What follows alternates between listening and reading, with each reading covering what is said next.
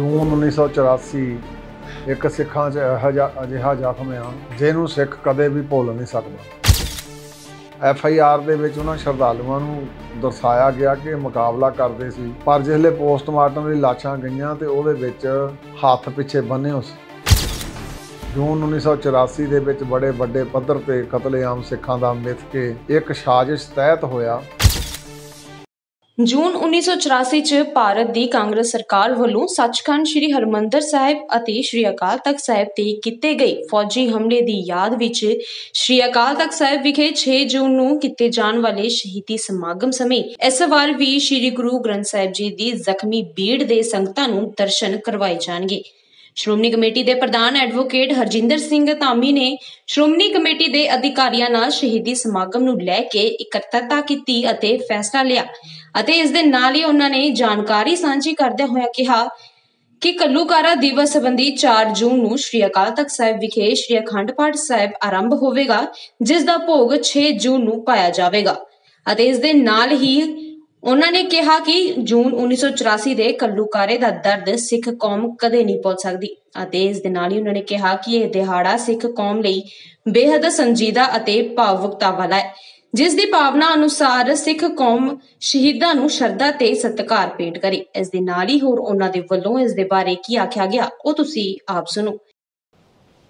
ਜੂਨ 1984 ਇੱਕ ਸਿੱਖਾਂ 'ਚ ਇਹੋ ਜਿਹਾ ਅਜਿਹਾ ਜ਼ਖਮ ਆ। ਜਿਹਨੂੰ ਸਿੱਖ ਕਦੇ ਵੀ ਭੁੱਲ ਨਹੀਂ ਸਕਦਾ। ਤੇ ਜਦੋਂ ਵੀ ਜੂਨ ਦਾ ਮਹੀਨਾ ਆਉਂਦਾ ਤੇ ਹਰ ਇੱਕ ਸਿੱਖ ਦੀਆਂ ਜਿਹੜੀਆਂ ਧਾਰਮਿਕ ਭਾਵਨਾਵਾਂ ਆ, ਉਹ ਭਾਵਨਾਵਾਂ ਦੇ ਵਿੱਚ ਬੰਦੇ ਨੂੰ ਭਾਵਨਾਵਾਂ ਪ੍ਰਗਟ ਕਰਦੇ ਹੋਏ ਕਈ ਪੱਖਾਂ ਤੋਂ ਦੇਖ ਸੋਚ ਵਿਚਾਰ ਕੇ ਇਸ ਅਸਥਾਨ ਦੇ ਉੱਤੇ ਆ ਕੇ ਆਪਣੀ ਸ਼ਰਧਾ ਭੇਟ ਕਰਦਾ। ਕਾਂਗਰਸ ਸਰਕਾਰ ਨੇ ਉਸ ਵੇਲੇ ਸਭ ਤੋਂ ਵੱਧ ਨੁਕਸਾਨ ਜਿਹੜੇ ਸਾਡੇ ਸ਼ਰਧਾਲੂ ਵੀਰ, ਚਾਹੇ ਬੀਬੀਆਂ ਸੀ, ਚਾਹੇ ਬੱਚੇ ਸੀ, ਜਿਹੜੇ ਯੋਧੇ ਲੜਦੇ ਸੀ, ਉਹ ਤਾਂ ਲੜਦੇ ਹੀ ਸੀਗੇ। ਤੇ ਉਹਨਾਂ ਸਾਰਿਆਂ ਨੂੰ ਇਹਨੇ ਮੌਤ ਦੇ ਘਾਟ ਉਤਾਰਿਆ। ਔਰ ਇੱਥੋਂ ਤੱਕ ਕਿ ਕੁਝ ਵਿਦਵਾਨਾਂ ਨੇ ਜਿਹੜੀਆਂ ਕਿਤਾਬਾਂ ਵੀ ਲਿਖੀਆਂ ਉਹਨਾਂ ਨੇ ਇਸ ਗੱਲ ਦਾ ਵੀ ਜ਼ਿਕਰ ਕੀਤਾ ਕਿ ਐਫ ਆਈ ਆਰ ਦੇ ਵਿੱਚ ਉਹਨਾਂ ਸ਼ਰਧਾਲੂਆਂ ਨੂੰ ਦਰਸਾਇਆ ਗਿਆ ਕਿ ਮੁਕਾਬਲਾ ਕਰਦੇ ਸੀ। ਪਰ ਜਿਸਲੇ ਪੋਸਟਮਾਰਟਮ ਲਈ ਲਾਸ਼ਾਂ ਗਈਆਂ ਤੇ ਉਹਦੇ ਵਿੱਚ ਹੱਥ ਪਿੱਛੇ ਬੰਨੇ ਹੋ ਸੀ। ਸੋ ਮੇਰਾ ਕਹਿਣ ਤੋਂ ਭਾਵ ਜੂਨ 1984 ਦੇ ਵਿੱਚ ਬੜੇ ਵੱਡੇ ਪੱਧਰ ਤੇ ਕਤਲੇਆਮ ਸਿੱਖਾਂ ਦਾ ਮਿਥ ਕੇ ਇੱਕ ਸਾਜ਼ਿਸ਼ ਤਹਿਤ ਹੋਇਆ। ਤੇ ਇਹ ਜਿਹੜਾ ਪਹਿਲਾ ਹਫਤਾ ਜੂਨ ਦਾ ਹਰ ਇੱਕ ਸਿੱਖ ਦੀਆਂ ਭਾਵਨਾਵਾਂ ਜਿਹੜੀਆਂ ਆ, ਉਹ ਪ੍ਰਕਾਟ ਦੇ ਵਿੱਚ ਆਉਂਦੀਆਂ। ਗੁਰੂ ਸਾਹਿਬ ਕਿਰਪਾ ਕਰਨ, ਬਖਸ਼ਿਸ਼ ਕਰਨ। ਇਹ ਜ਼ਖਮ ਤਾਂ ਕਦੇ ਭੁਲਾਏ ਨਹੀਂ ਜਾ ਸਕਦੇ। ਪਰ ਫਿਰ ਵੀ ਉਹਨਾਂ ਮਹਾਨ ਸ਼ਹੀਦਾਂ ਨੂੰ ਯਾਦ ਕਰਨ ਲਈ 4 ਜੂਨ ਨੂੰ ਸ੍ਰੀ ਅਕਾਲ ਤਖਤ ਸਾਹਿਬ ਵਿਖੇ ਅਖੰਡ ਪਾਠ ਸਾਹਿਬ ਦੀ ਪ੍ਰਾਪਤਾ ਹੋਊਗੀ। 6 ਜੂਨ ਨੂੰ ਅੰਮ੍ਰਿਤ ਵੇਲੇ ਸ੍ਰੀ ਅਖੰਡ ਪਾਠ ਸਾਹਿਬ ਜੀ ਦੇ ਭੋਗ, ਉਪਰੰਤ ਅਰਦਾਸ ਤੇ ਸ੍ਰੀ ਅਕਾਲ ਤਖਤ ਸਾਹਿਬ ਜੀ ਦੇ ਜਥੇਦਾਰ ਕੌਮ ਦੇ ਨਾਂ ਤੇ ਸੰਦੇਸ਼ ਦੇਣਗੇ।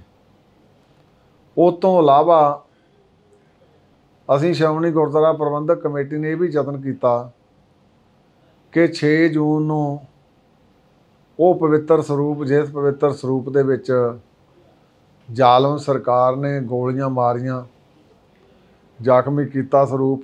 ਸੋ ਸਿੱਖ ਕੌਮ ਨੂੰ ਵੀ ਚੇਚੇ ਤੌਰ ਤੇ ਬੇਨਤੀ ਕਰਦਾ ਕਿ ਜਿੱਥੇ ਉਹਨਾਂ ਮਹਾਨ ਸ਼ਹੀਦਾਂ ਨੂੰ ਆਪਾਂ ਸ਼ਰਧਾ ਦੇ ਫੁੱਲ ਭੇਟ ਕਰਨੇ ਆ, ਉੱਥੇ ਗੁਰੂ ਚਰਨਾਂ ਦੇ ਵਿੱਚ ਆ ਕੇ ਆਪਾਂ ਨਤਮਸਤਕ ਵੀ ਹੋਣਾ, ਤਾਂ ਕਿ ਗੁਰੂ ਸਾਹਿਬ ਕਿਰਪਾ ਕਰਨ, ਬਖਸ਼ਿਸ਼ ਕਰਨ ਇਹ ਜਿਹੜੇ ਸ਼ਹੀਦ ਹੁੰਦੇ ਆ, ਕੌਮ ਦਾ ਸਰਮਾਇਆ ਹੁੰਦੇ ਆ, ਤੇ ਚੇਚੇ ਤੌਰ ਦੇ ਉੱਤੇ 20ਵੀਂ ਸਦੀ ਦੇ ਮਹਾਨ ਸਿੱਖ ਸੰਤ ਬਾਬਾ ਜਰਨੈਲ ਸਿੰਘ ਜੀ ਖਾਲਸਾ ਪਿੰਡਰਾਂ ਵਾਲੇ, ਜਿਨ੍ਹਾਂ ਨੇ ਮਰਦੇ ਮਜਾਹਦ ਇਸ ਪਵਿੱਤਰ ਧਰਤੀ ਤੇ ਗੁਰੂ ਸ੍ਰੀ ਅਕਾਲ ਤਖਤ ਸਾਹਿਬ ਦੀ ਆਜ਼ਮਤ ਲਈ ਆਪਣੀ ਸ਼ਹੀਦੀ ਦਿੱਤੀ।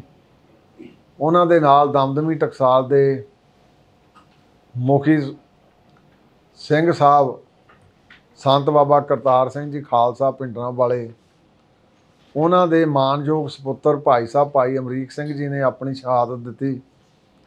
ਉਹਨਾਂ ਦੇ ਨਾਲ ਭਾਈ ਠਾਰਾ ਸਿੰਘ ਜੀ ਔਰ ਉਹਨਾਂ ਦੇ ਨਾਲ ਭਾਈ ਸ਼ਵੇਕ ਸਿੰਘ ਜੀ, ਜਿਹੜੇ ਜਨਰਲ ਸਾਹਿਬ ਆ, ਤੇ ਹੋਰ ਵੀ ਅਨੇਕਾਂ ਸਿੱਖ, ਜਿਨ੍ਹਾਂ ਨੇ ਉਹ ਸ਼ਹੀਦੀਆਂ ਦਿੱਤੀਆਂ। ਉਹਨਾਂ ਨੂੰ ਸਿੱਖ ਪੰਥ ਹਮੇਸ਼ਾ ਹੀ ਯਾਦ ਕਰਦਾ ਤੇ ਯਾਦ ਕਰਦਾ ਰਹੂਗਾ। ਗੁਰੂ ਸਾਹਿਬ ਕਿਰਪਾ ਤੇ ਬਖਸ਼ਿਸ਼ ਕਰਨ। ਇਹ ਜੂਨ ਦਾ ਮਹੀਨਾ ਜਿੱਦਾਂ ਧੁੱਪ ਤਪਦੀ ਆ ਉਦਾਂ ਹੀ ਸਿੱਖਾਂ ਦੇ ਅੰਦਰ ਉਹ ਜੂਨ 84 ਦੀ ਤਪਸ਼ ਜਿਹੜੀ ਆ, ਉਹ ਅੰਦਰ ਝਲਕਾਰ ਮਾਰਦੀ ਆ। ਸੋ ਗੁਰੂ ਸਾਹਿਬ ਕਿਰਪਾ ਕਰਨ ਆਪਾਂ ਗੁਰੂ ਦੇ ਭਾਣੇ ਦੇ ਵਿੱਚ ਰਹਿ ਕੇ ਉਹਨਾਂ ਮਹਾਨ ਸ਼ਹੀਦਾਂ ਨੂੰ ਸ਼ਰਧਾ ਦੇ ਫੁੱਲ ਭੇਟ ਕਰ ਰਹੇ ਹਾਂ। ਵਾਹਿਗੁਰੂ ਜੀ ਕਾ ਖਾਲਸਾ, ਵਾਹਿਗੁਰੂ ਜੀ ਅੰਮ੍ਰਿਤਸਰ ਤੋਂ ਜਸਕਰਨ ਸਿੰਘ ਦੀ ਰਿਪੋਰਟ ਪਬਲਿਕ ਟਾਈਮਸ